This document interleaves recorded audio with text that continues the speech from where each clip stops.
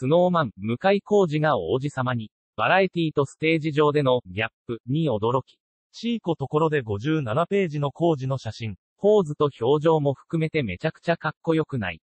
髪型はちょっとケンティー、セクシーゾーン、中島健人、みたいで、王子様のよう。椅子に座って片膝を立てていて、少しニヒルな笑みも最高じゃん。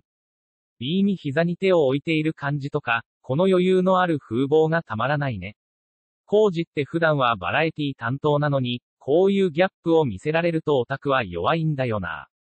チーコこのカットを工事の扉ページに持ってきた編集さん、グッジョブだよ。工事のページ、前半は関西ジュニア時代の写真だけど、ヒー君や鍋所と比べると、すでに垢抜けていてビジュアルも整っている年頃だね。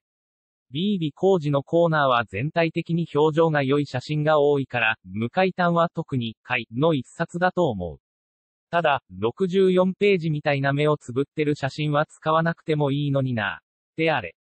これって、よく見たら工事ではなく復活、深沢達也、なのでは。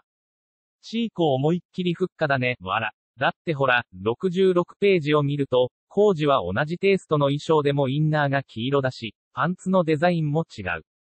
まあ、この時の工事と復活はヘアスタイルがかなり似てるから、間違えてもしょうがないかも。